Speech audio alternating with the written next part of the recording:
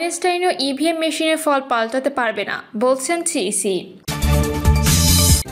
এদিকে তত্ত্বাবধায়ক না এলে দেশে কোনো নির্বাচন হবে না, বললেন মির্জা ফখরুল। খালেদা জিয়া নির্বাচনে অংশ নেওয়ার সুযোগ নেই, তার দল পারবে, বলছেন তথ্যমন্ত্রী। জানাব বিএনপির জন্ম হয়েছে অবৈধভাবে, বলছেন দীপুমণি। আরও থাকছে মাছের বিরোধী দল তৈরি করছে রোডম্যাপ। এবং সর্বশেষ জানাব, বিএনপির রাজনীতি হচ্ছে মিথ্যার আর হত্যার, বলছেন আইনমন্ত্রী। শুনছিলেন সংবাদ শিরোনাম, এবারে বিস্তারিত।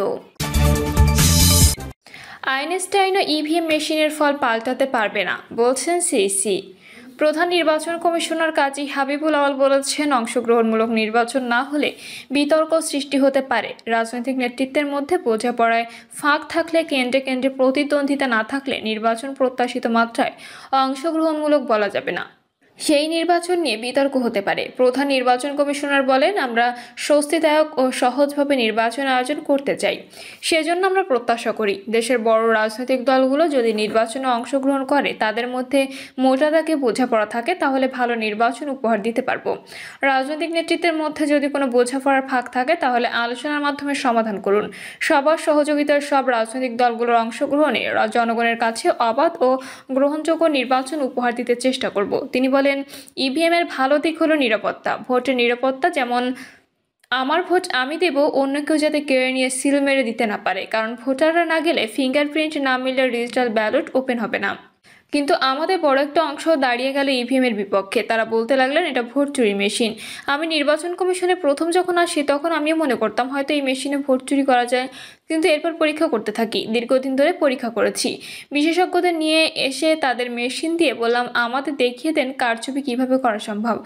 কিন্তু তারা দেখাতে পারেননি। গত নয় দশ মাসে নির্বাচনগুলোতে কোনো বস্তুনিষ্ঠ অভিযোগ পাইনি। আবার বলা হলো, শেষের দশ মিনিটে ফলাফল পাল্টে দেওয়া সম্ভব। কিন্তু এই দশ মিনিটে যদি একজন আইনস্টাইনকে বসে দেওয়া হয়, তারা ফল পাল্টাতে পারবে না। এটা সম্ভব না। কাজী হাবিবুল আওয়াল বলেন, নির্বাহী বিভাগ ও প্রশাসনের আন্তরিকতা দরকার। ভোটাররা নির্ভয়ে ভোট দিতে পারছেন, সেটার পরিবেশ তৈরির দায়িত্ব কিন্তু পুলিশ প্রশাসনের।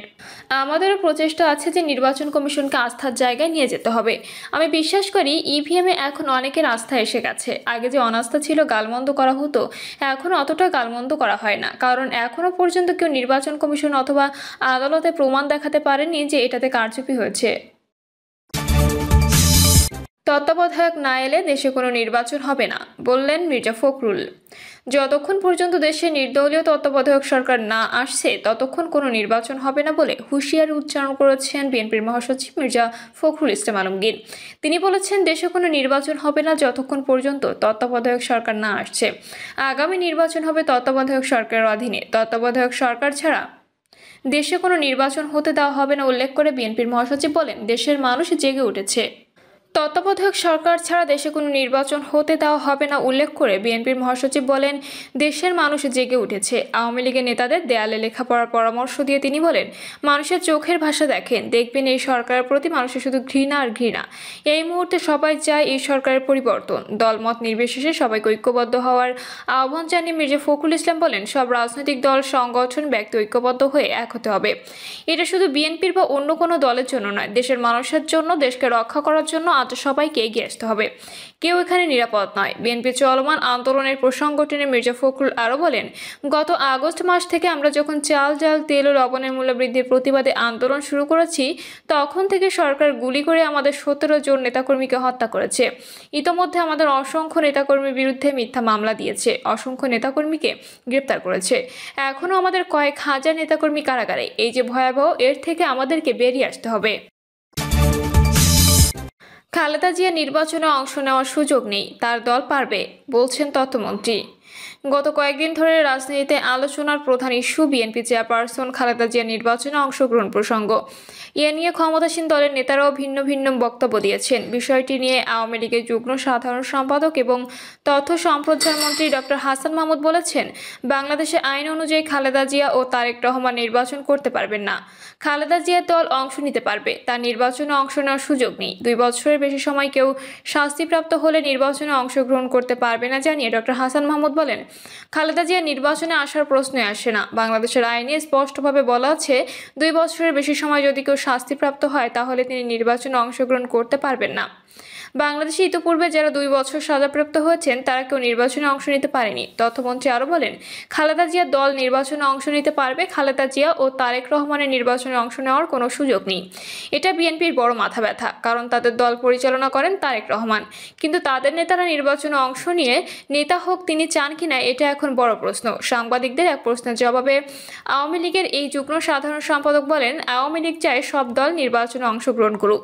বিএনপির একটা নির্বাচনী ভীতি তৈরি হয়েছে। ভীতি হওয়াটা স্বাভাবিক, কারণ দু হাজার আট সালে তারা পূর্ণ শক্তি দিয়ে নির্বাচন করেছিল। কিন্তু তারা উনত্রিশটি সিট পেয়েছিল। দুই হাজার চোদ্দ সালে তারা নির্বাচন প্রতিহত করার জন্য চেষ্টা করেছিল, কিন্তু ব্যর্থ হয়েছে। মূলত তারা গণতন্ত্রকে প্রতিহত করতে চেয়েছিল, কিন্তু ব্যর্থ হয়েছে। বিএনপি দু সালের ডান বাম, অতি ডান সহ বিভিন্ন রাজনৈতিক দল নিয়ে নতুন করে ঐক্য গঠনের কথা উল্লেখ করে তিনি বলেন, তারা ব্যর্থ হয়েছে।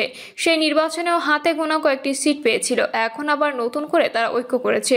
তারা যখন প্রেস ক্লাবে সমাবেশ করে, তখন তাদের নেতাকর্মীর চেয়ে সাংবাদিক বেশি থাকে। সেজন্য বিএনপিকে নির্বাচনের ভীতি পেয়ে বসেছে। তারপর আমরা চাই সব দলের অংশগ্রহণে একটি সুষ্ঠু নির্বাচন এবং জনগণ ভোট দিয়ে সরকার নির্বাচন করুক। এসব বিষয়ে তাদেরকে আমরা জানিয়েছি। তথ্যমন্ত্রী ডক্টর হাসান মাহমুদ আরও বলেন, আমরা বলেছি, সব দলের অংশগ্রহণ, উৎসাহ, উদ্দীপনার মধ্য দিয়ে একটা সুষ্ঠু নির্বাচন আমরা দেখতে চাই। জনগণের ভোটের মাধ্যমে আগামী দিনের সরকার গঠিত হবে। এই নির্বাচনে বিএনপি সহ সব দলের অংশগ্রহণ আমরা চাই। বিএনপির জন্ম হয়েছে অবৈধভাবে, বলছেন দীপুমণি। আওয়ামী লীগের যুগ্ম সাধারণ সম্পদ ও শিক্ষামন্ত্রী ডক্টর দীপুমণি বলেছেন, বিএনপি একটি অবৈধ দল। তাদের জন্মই হয়েছে অবৈধভাবে। তারা সন্ত্রাস, জঙ্গিবাদ করে দেশের উন্নয়নকে বাধাগ্রস্ত করে দেশকে পিছিয়ে দেয়। বিএনপি নির্বাচনের আগে সবসময় চেষ্টা করে পরিস্থিতি ঘোলাটে করে কীভাবে পিছনের দরজা দিয়ে ক্ষমতায় আসা যায়। মাঠের বিরোধী দল তৈরি করছে রোডম্যাপ। সরকার বিরোধী আন্দোলনের রোডম্যাপ পরিকল্পিতভাবে প্রস্তুত করছে মাঠের বিরোধী দল বিএনপি। ধাপে ধাপে তা বাস্তবায়ন করা হবে। দলটির একাধিক নীতি নির্ধারকেরা অভিমত, আন্দোলনকে ভিন্ন খাতে নিতে সরকার নানাভাবে উস্কানি দিচ্ছে বা দেবে। কিন্তু সেই ফাঁদে এবার বিএনপি পা দেবে না। তাদের লক্ষ্য ধারাবাহিক কর্মসূচির মধ্য দিয়ে তৃণমূল পর্যন্ত নেতাকর্মীদের প্রস্তুত করা, যাতে যে কোনো পরিস্থিতিতে সরকার বিরোধী আন্দোলন চূড়ান্ত পর্যায়ে নেওয়া যায়। যুগপৎ আন্দোলনে অংশগ্রহণকারী দলগুলোকে একই বার্তা দেওয়া হয়েছে। নীতি নির্ধারকরা আরও জানান, বিএনপির চলমান আন্দোলন আরও বিস্তৃত করতে চাইছে। পদযাত্রার মতো ব্যতিক্রমী কর্মসূচিতে ব্যাপক সাড়া পাওয়া গেছে। রাজধানী সহ দেশের সব মহানগরে পালন করা হয়েছে কর্মসূচি। এমনকি সারা দেশে ইউনিয়ন পর্যায়ে একদিনে পদযাত্রা কর্মসূচি পালন করা হয়। ছেষট্টিটি সাংগঠনিক জেলায় একযোগে চলে কর্মসূচি। আগামী সপ্তাহে মহানগরের থানায় থানায় এবং পরবর্তীতে উপজেলা পৌর এলাকায় একই কর্মসূচি দেওয়ার সিদ্ধান্ত নিয়েছে দলটি। মার্চের শেষের দিকে শুরু হবে পবিত্র রমজান। এবার রোজার মধ্যে ইফতার রাজনীতির পাশাপাশি মাঠের কর্মসূচি অব্যাহত রাখার চিন্তাভাবনা চলছে। পদযাত্রা শেষ করে নতুন কর্মসূচি লং মার্চ করার পরিকল্পনা রয়েছে। শুরুতে সেটা ঢাকামুখী হবে নাকি রাজধানী থেকে বিভিন্ন মহানগরমুখী হবে তা নিয়ে আলোচনা চলছে। নেতাদের পাশাপাশি যুগপৎ আন্দোলনে অংশগ্রহণকারী দলগুলোর কাছ থেকেও নেওয়া হচ্ছে মতামত। স্থানীয় সরকারের সাবেক ও বর্তমান প্রতিনিধিদের আন্দোলনে নামাতে বিশেষ উদ্যোগ নিয়েছে বিএনপি। উনিশশো একানব্বই সালের পর থেকে যারা সিটি কর্পোরেশনের মেয়র উপজেলার চেয়ারম্যান, ভাইস চেয়ারম্যান ও মহিলা ভাইস চেয়ারম্যান এবং পৌরসভার মেয়র নির্বাচিত হয়েছেন তাদের সঙ্গে ধারাবাহিক মত বিনিময় শুরু করেছেন দলের ভারপ্রাপ্ত চেয়ারম্যান তারেক রহমান। আগামী দিনে আন্দোলনে তাদের মতামতের পাশাপাশি রাজপথে থাকার প্রতিশ্রুতিও নেওয়া হচ্ছে। প্রকাশ্যে নির্বাচনী প্রস্তুতি না থাকলেও কর্মসূচি পালনের মধ্য দিয়ে এ কাজটি করা হচ্ছে। নেতাকর্মীদের চাঙা রাখতে প্রতিটি সংসদীয় এলাকায় দেওয়া হচ্ছে কর্মসূচি। নেতাকর্মীদের পাশাপাশি সম্ভাব্য প্রার্থীদের মাঠে থাকতে বিশেষ বার্তা দেওয়া হচ্ছে। আন্দোলন সংগ্রামে যারা মাঠে থাকবেন না, আগামী নির্বাচনে মনোনয়নের ক্ষেত্রে তাদের মাসুল দিতে হবে। হাইকমান্ডের এমন বার্তা পেয়ে সম্ভাব্য প্রার্থীদের প্রায় সবাই নিজ নিজ এলাকায় কর্মসূচিতে অংশ নিচ্ছেন। কোনো কারণে উপস্থিত থাকতে না পারলে তা হাইকমান্ডকে অবহিত করছেন। বিএনপির রাজনীতি হচ্ছে মিথ্যার আর হত্যার, বলছেন আইনমন্ত্রী। আইনমন্ত্রী অ্যাডভোকেট আনিসুল হক বলেছেন বিএনপির রাজনীতি হচ্ছে মিথ্যার আর হত্যার। উনিশশো পঁচাত্তর সালের পর বিএনপি যখন থেকে ক্ষমতা এসেছিল, তখন থেকে বিএনপি হত্যার রাজনীতি শুরু করেছে। হত্যার রাজনীতি এবং মিথ্যা কথা বলার রাজনীতি এটাই বিএনপির আদর্শ। সেই ধারাবাহিকতা বজায় রেখে দু হাজার এক সালে বিএনপি যখন আবারও ক্ষমতা দখল করে, তখন বাংলার জনগণের ওপর প্রতিশোধ নেওয়ার জন্য ঝাঁপিয়ে পড়ে। আওয়ামী লীগের নেতাকর্মী ভাই বোন পরিবার কাউকে তারা বাদ দেয়নি। মন্ত্রী বলেন, দুই হাজার চার সালের একুশে আগস্টের ঘটনা সবাই জানেন। বিএনপি প্রধানমন্ত্রী জননেত্রী শেখ হাসিনাকে হত্যা করার জন্য উনিশ বার চেষ্টা করে। আল্লাহ রহমতে প্রতিবারই তিনি বেঁচে যান। দু হাজার ছয় সালে বিএনপি প্রহাসন করে। এই সবই বিএনপির আদর্শ। তারা এটা ছাড়া অন্য কিছু করতে পারে না। তিনি বলেন, আমরা দ্ব্যর্থহীন ভাষায় বলতে চাই, বাংলার মানুষ জননেত্রী শেখ হাসিনার নেতৃত্বে শুধু উন্নয়নই দেখে নাই, রাজনৈতিক শান্তিও দেখেছে। আমরা এই রাজনৈতিক শান্তি অব্যাহত রাখতে চাই। আমরা জনগণের কাছে জনগণের প্রাপ্য ভোটের অধিকার পৌঁছে দিয়েছি। ইনশাআল্লাহ দু হাজার চব্বিশ সালে সুষ্ঠু নিরপেক্ষ নির্বাচনের মাধ্যমে সেটা আবারও প্রমাণ করব। এ সময় তিনি নেতাকর্মীদের ঐক্যবদ্ধ থেকে বাংলাদেশের বিরুদ্ধে এবং শেখ হাসিনার বিরুদ্ধে যে ষড়যন্ত্র হয় তা নস্বাত করে দেওয়ার আহ্বান জানান। কেউ যেন জনগণের ক্ষতি করতে না পারে সেজন্য নেতাকর্মীদের জনগণের পাশে থাকার আহ্বান জানান তিনি। প্রিয় দর্শক, এই ছিল এখনকার সর্বশেষ সংবাদ। আপডেট সব সংবাদ পেতে চ্যানেলটি সাবস্ক্রাইব করে বেল আইকনটি ক্লিক করে রাখুন।